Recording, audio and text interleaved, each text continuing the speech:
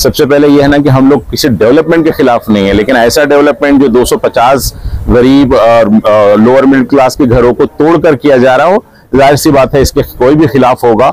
और पर्टिकुलरली जब आपके पास ज़मीन अवेलेबल है कि आप वहाँ पर बेहतरीन गार्डन डेवलप कर सकते हैं, वहाँ करें तो हमने कोशिश की है कि ऑफिसर्स को कंसर्न जो ऑफिसर है, उनको कन्विंस करने की। और उम्मीद है कि वो लोग इस बात को समझे हैं, उन लोगों को न सिर्फ़ किराड़पुरा के 250 घर को, बल्कि औरंगाबाद शहर के किसी भी घर के एक ईट को भी इंशाल्लाह अज़ीज़ धक्का नहीं लगने देंगे। आज जो है तो सत्ताईस तारीख का जो है तो स्मार्ट सिटी डेवलपमेंट प्लान का जो है तो सुनवाई थी हमारी। तो उसके बाद से हमने जो है तो आर्गुमेंट करने के लिए खिजर पटेल साहब और हमारे नगर से ईसा गाजी साहब को हमने साथ में लाए थे।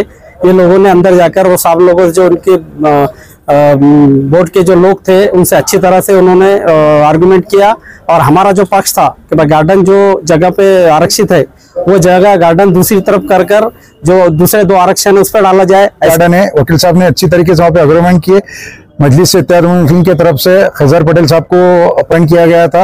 और ये मजलिस की ताकत है कि हर जगहों पे, हर समय हम लोगों के इसमें खड़े हुए, दुख दर्द में खड़े हुए। और जैसा वकील साहब ने कहा किराड़पुरे नहीं, पूरे औरंगाबाद शहर में इस तालुक से जा भी कोई गरीब का घर, अगर कोई ईट भी अगर, कोई अगर हिला सकता तो मजलिस मुस्लिम वहाँ पे चट्टान की तरह वहाँ पे खड़े रहेंगे।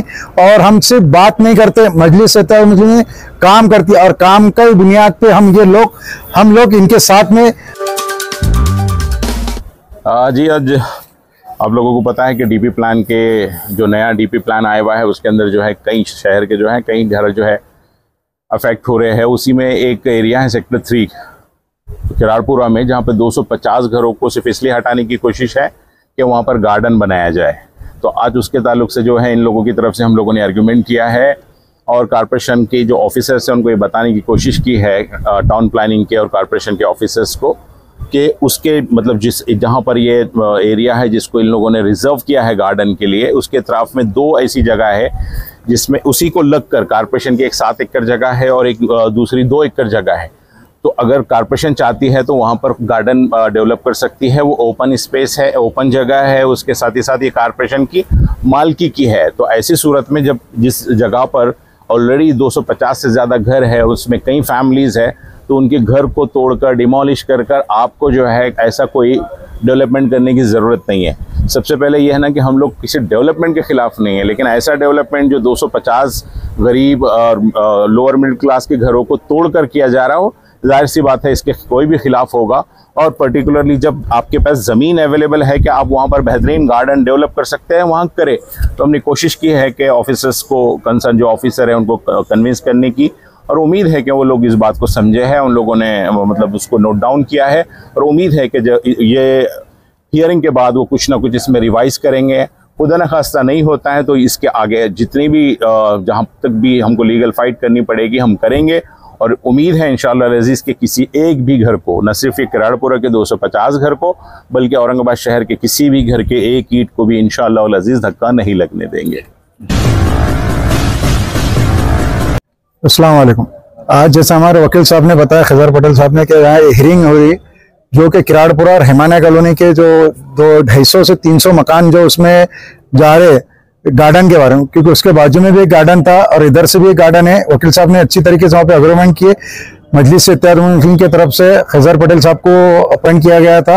और ये मजलिस की ताकत है कि हर जगहों पे, हर समय हम लोगों के इसमें खड़े हुए, दुख दर्द में खड़े हुए। और जैसा वकील साहब ने कहा किराड़पुरे नहीं, पूरे औरंगाबाद शहर में इस तालुक से जहाँ भी कोई गरीब का घर, अगर कोई ईट भी अगर, कोई अगर हिला सकता तो मजलिस मुस्लिम वहाँ पे चट्टान की तरह वहाँ पे खड़े रहेंगे।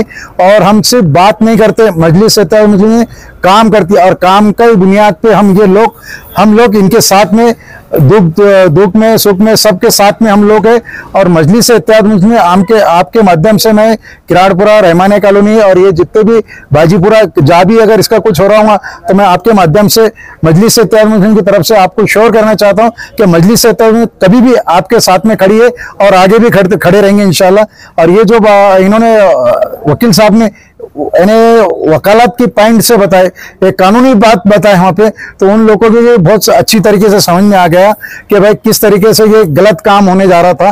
तो उम्मीद है कि इंशाल्लाह ये यहाँ पे उन्होंने क्लियर कर देंगे। अगर ऐसा नहीं होता तो हम लोग किजर पटेल साहब के साथ में और वकीलों के साथ में हम हाई कोर्ट या सुप्रीम कोर्ट भी अगर जाना पड़े तो मजलिस जाएँगे और इन लोगों के किसी को भी, एक घर को भी ऐसा धक्का नहीं लगेगा।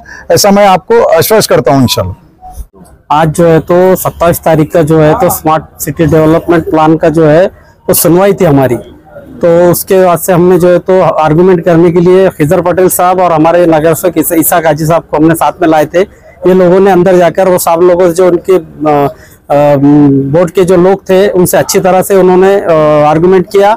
और हमारा जो पक्ष था कि भाई गार्डन जो जगह पे आरक्षित है वो जगह गार्डन दूसरी तरफ़ कर कर जो दूसरे दो आरक्षण है उस पर डाला जाए ऐसा उन्होंने हमारे तरफ़ से अंदर बात की। इसलिए हम उनका शुक्रिया इसाक हाजी साहब का और खिजर पटेल साहब का एडवोकेट का शुक्रिया अदा करते हैं।